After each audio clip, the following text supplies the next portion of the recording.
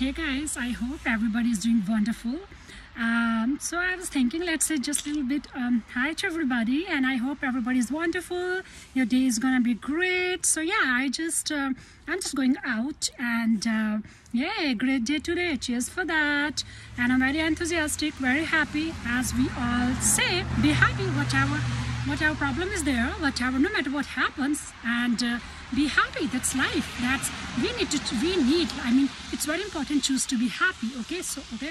So why i'm just coming online i'm gonna show you one thing. It's a huge i mean snow got collected on my car. I'm gonna show you. Oh it's moving okay. Please have a look. That is so much snow but now I think it's kinda it's gonna be fun because I know now how to clean snow. That's exciting for me. And one huge improvement. I don't feel cold anymore. Yay!